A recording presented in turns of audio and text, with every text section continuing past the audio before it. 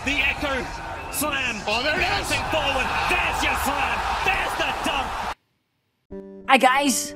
For those watching, are you a Buddha Fruit user? So if you are, this video is important to you.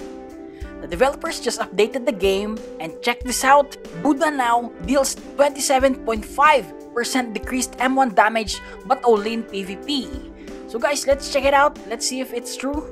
So to gauge the difference, I tried it in a mob. So as you can see, I have max melee stats and also max mastery on that step.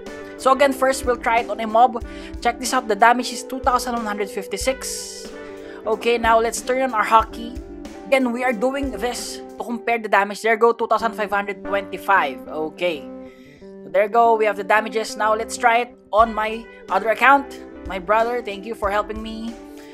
So again, we're gonna use M1 same, same items, wire helmet. No haki first. Check the damage 1400. Again, the damage on monsters 2100, right? Now with haki, let's try it. Let's go. Only 1700. So it's true guys, the damage is now lower. So good luck to us Buddha Fruit users. Guys, a bonus. Check this out. Since V4 Awakening is out, I am going to transform. This is Human Awakening V4 and try if damage will increase when transformed. Okay, so there you go. Let's do it. Here it is, Buddha. First without Haki.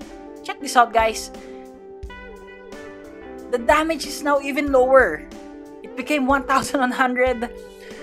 How about with Haki? 1300, guys. Buddha Fruit user with Awakened Human Race V4, guys. Damage is lower, so can you please comment in the comment section on what you feel? I hope this is a bug. I'm planning on using Human and Buddha uh, at the same time for PvP. Anyways, guys, that's it for this video. See you on my other videos. Again, to all the viewers, subscribers, supporters, I really appreciate y'all. This is Gamer Nom, Gamer Nom out.